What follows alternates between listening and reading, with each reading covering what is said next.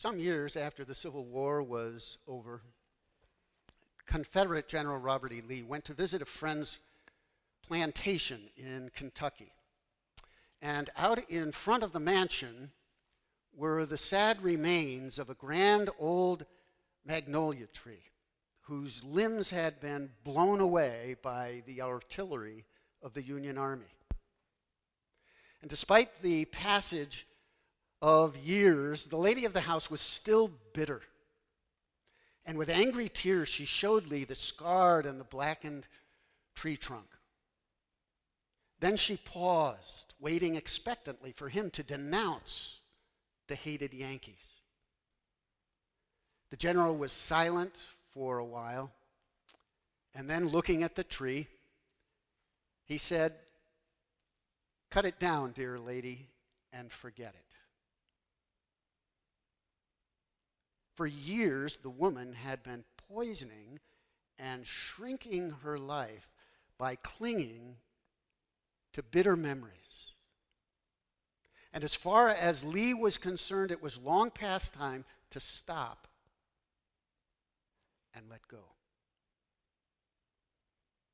Stopping, however, would take a profound change of heart because it's with our heart that, that you and I see the world and we measure what is important and we decide how to respond to it. If our hearts are mean, bitter, small, they'll project their own narrow, ugly image on the world. We'll find in the world exactly what we expect to find nothing good. Those who might be friends will shrink into enemies. Situations that might well be opportunities, we will view as problems. And in the process, our hearts themselves will shrink smaller and narrower with less and less room to take in the friendship and love people want to give us. But what if our hearts aren't cold, hard, and small? What if instead our hearts are warm and open and hopeful? What will we see in the world then? It'll be a very different world, a world filled with people of value, with whom God isn't done with yet. A world of, of people who are struggling to get life right. People who will no doubt get it right more often if we lend them a hand instead of turning away in rejection. Large hearts can see that. They can turn enemies into friends. They can love people towards wholeness, just the way God does. Several weeks ago, we looked at Jesus' Sermon on the Mount. Today, we take a look at his Sermon on the Plain, which hits many of the same themes and calls for large hearts. Listen for God's word to us from Luke chapter 6, beginning at verse 27. Jesus says, But I say to you that listen, I say to you that listen, love your enemies, do good to those who hate you, bless those who curse you, pray for those who abuse you. If anyone strikes you on the cheek, offer the other also. And from anyone who takes away your coat, do not withhold even your shirt. Give to everyone who begs from you. And if anyone takes away your goods, do not ask for them again. Do to others as you would have them do to you. If you love those who love you, what credit is that to you? For even sinners love those who love them. If you do good to those who do good to you, what credit is that to you? For even sinners do the same. If you lend to those from whom you hope to receive, what credit is that to you? Even sinners lend to sinners to receive as much again. But love your enemies, do good, and lend, expecting nothing in return. Your reward will be great, and you will be children of the Most High, for he is kind to the ungrateful and the wicked. Be merciful, just as your Father is merciful. Do not judge, and you will not be judged. Do not condemn, and you will not be condemned. Forgive, and you will be forgiven. Give, and it will be given to you. A good measure, pressed down, shaken together, running over, will be put into your lap. For the measure you give will be the measure you give back. This is the word of the Lord.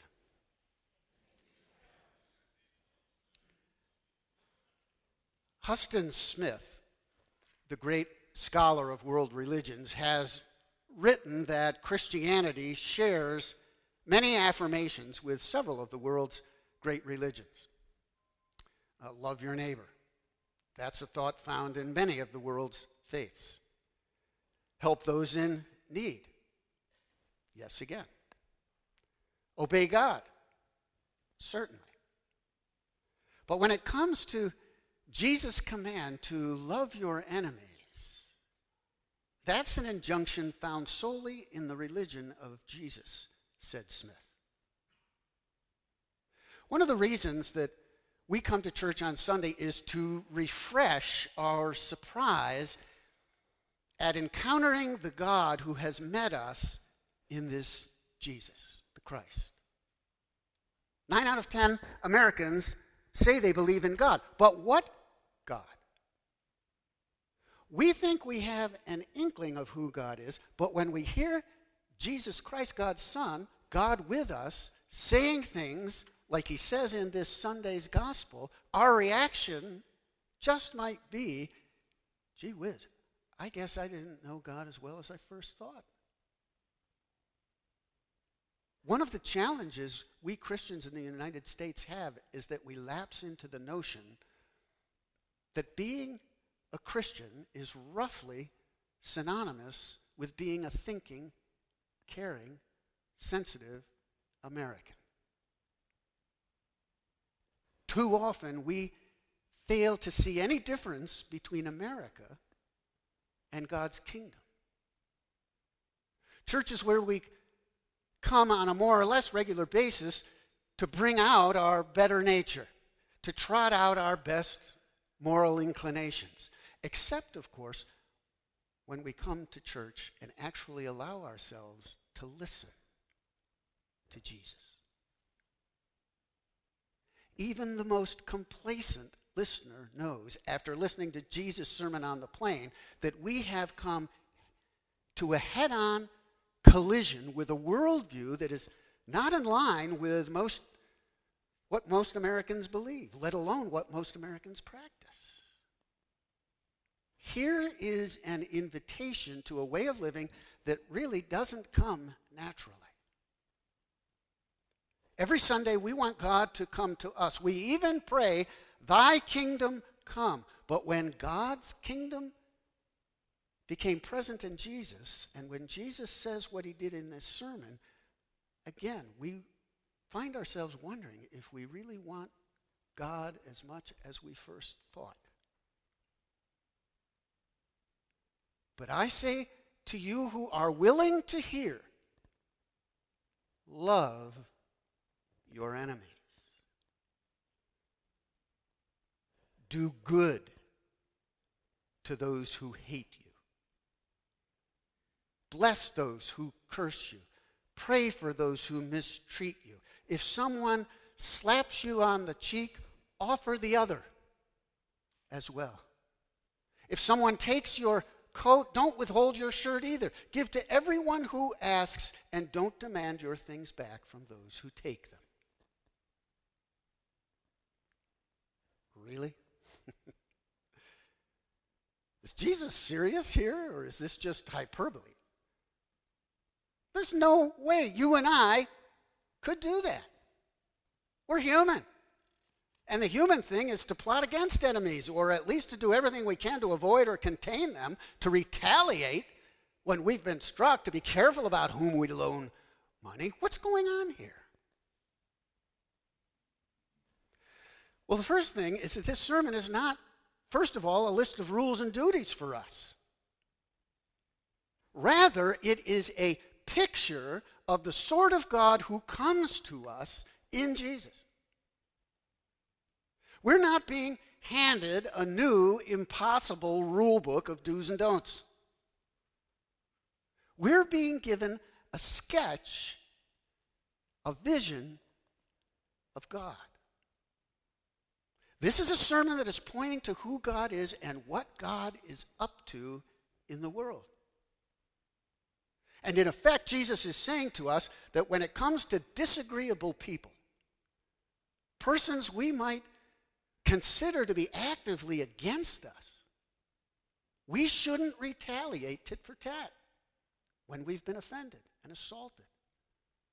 Because exercising restraint and mercy is the way God has responded to our own behavior.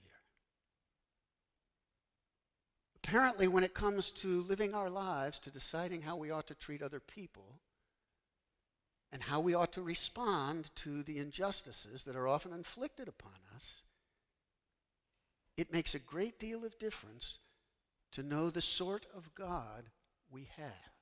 Not the one we want, but the sort of God we have. One who loves enemies. Love your enemies. Do good towards those who hate you. This is the world, this is the kingdom God is building. Tremendous words, tremendous vision, but how do you live it? How can we love people who have hurt us? How do we do good to people who have gossiped about us or cheated us or otherwise oppressed us or done worse? How do we love a parent who has abused us? Or the teacher who said we would never be able to learn. Or the ex wife or ex husband who's tried to destroy the relationship we have with our children.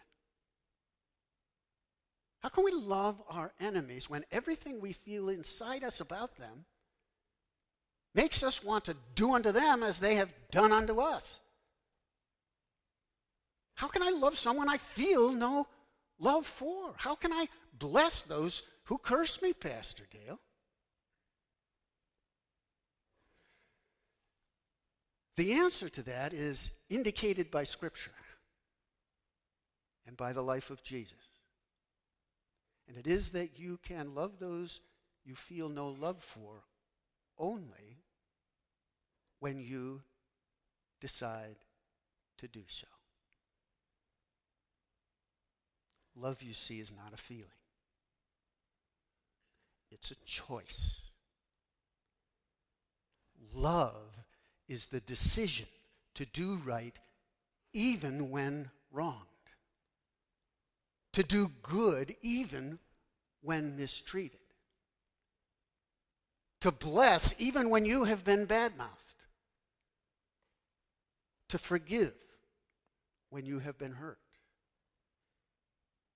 to care even when you have been dismissed.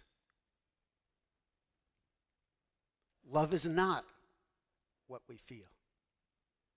It is the good that we decide to do and then do. How do we love our enemies when we do not feel like loving them? How do we get up in the morning to work when we feel tired? How do we diet when we feel like having a giant bowl of ice cream with chocolate sauce and nuts. We simply decide. We make a choice.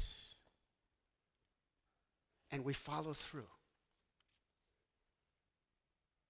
Jesus here tells us a little bit of what it means to love your enemy, of what we must decide to do if we are to love him or her, or in fact, anyone, whether they are an enemy or our friend.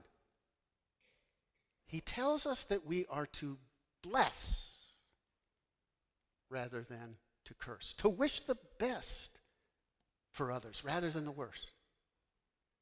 He tells us to be merciful as God is merciful and as we have received God's mercy. To forgive as we have been forgiven, without exception or hope of reward, but simply because that is God's way with us. And of course, we have heard in today's gospel reading, Jesus tells us, Do unto others as you would have them do unto you. And there is really no greater piece of advice about how we are to love others. When Martin Luther King's home was burned down one night because there were those who didn't like his message, one of the things he told the crowd gathered, bent on meeting violence with violence, was this. When you live by the rule an eye for an eye and a tooth for a tooth, you end up with a nation of blind and toothless people. Dr. King knew with all his large heart that a new society could not be built by violent means. He believed that the only way one could defeat one's enemies was with love. This sermon of Jesus, the Sermon on the Plain, isn't addressed to some select inner circle of folks. But as it states at the very first verse there, to you who are willing to hear. To choose to love in the face of enmity, to do good in the face of hurt and harm, is not easy. It's difficult, it's demanding, and it is humbling. It is why we call ourselves practicing Christians. The great theologian Karl Barth reminds us that the Christian congregation consists only of beginners. One never becomes so adept at the practice of the Christian faith that one becomes an expert at following Jesus. He writes this one never is a Christian. One can only become one again and again. In the evening of each day, somewhat ashamed about one's Christianity of the day just over. And in the morning of each new day, glad that one may dare to be one all over again. Doing so with solace with one's fellow human beings, with hope and grace.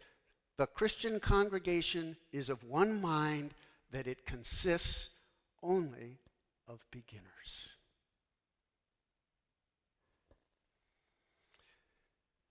Well, fellow beginners, we are all at the start of a new week.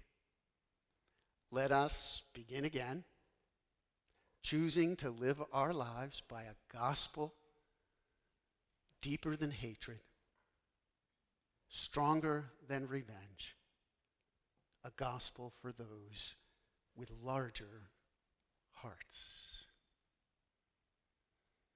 Thanks be to God for his incredible gift to us in this teaching from our Lord and Savior, Jesus Christ.